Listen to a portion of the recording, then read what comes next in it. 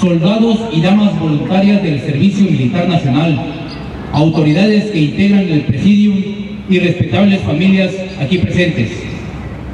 El 5 de mayo de 1862, el general Felipe Berriozábal felicitaba a las tropas mexicanas después de la heroica batalla en la ciudad de Puebla.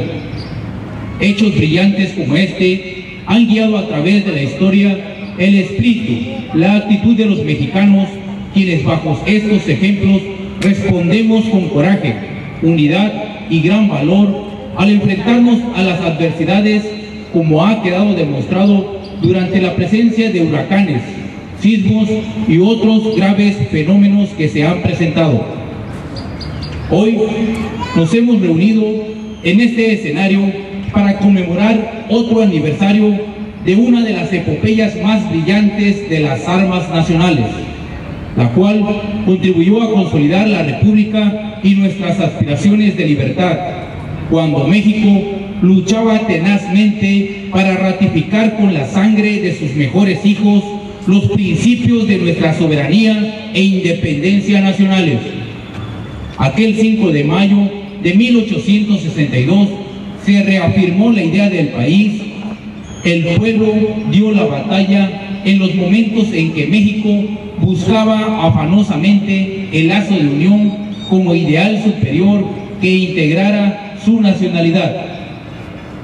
Presentes tenemos las palabras del general Zaragoza al presidente Benito Juárez al recibir el mando del cuerpo del Ejército del Oriente.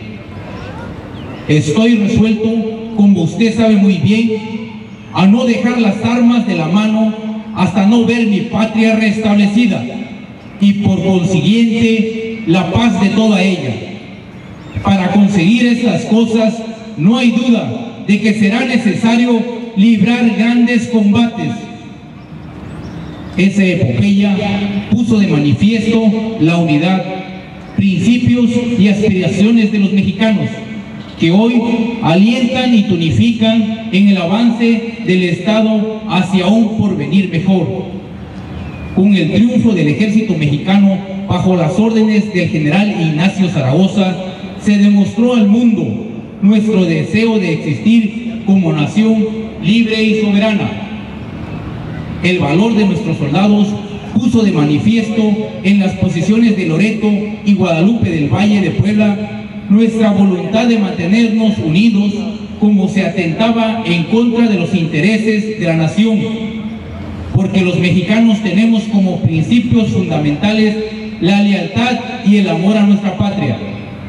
En aquella batalla de Puebla quedó demostrado que con unidad y patriotismo los mexicanos podemos superar las circunstancias adversas que en cada época ponen a prueba nuestras voluntades y de las que siempre emergen más fuertes, mejor preparados, más unidos. En este cambiante mundo que nos ha tocado vivir, el significado retrospectivo de la batalla del 5 de mayo debe propiciar y acreditar los valores nacionales en torno a los destinos ciertos del país. Cada año, en este día, los jóvenes mexicanos juran fidelidad a nuestro lábaro patrio, acto de sublime entrega y devoción a todo aquello que nos identifica como grupo y nación. Aquí juramos trabajar por nuestra familia, mejorar nuestra ciudad, vivir para el progreso del país. Es de esta manera como hoy en día se defiende la soberanía y la independencia, lo que permite asegurar que nuestro país alcanzará los objetivos nacionales de paz y bienestar y progreso.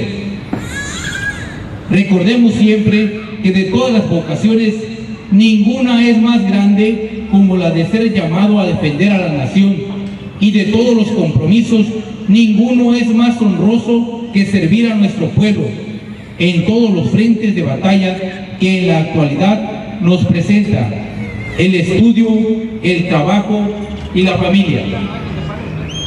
Jóvenes soldados del Servicio Militar Nacional, clase 1993, anticipados y revisos.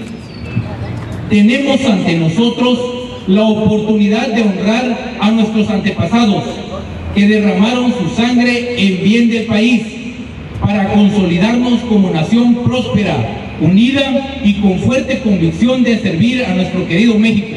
Muchas gracias.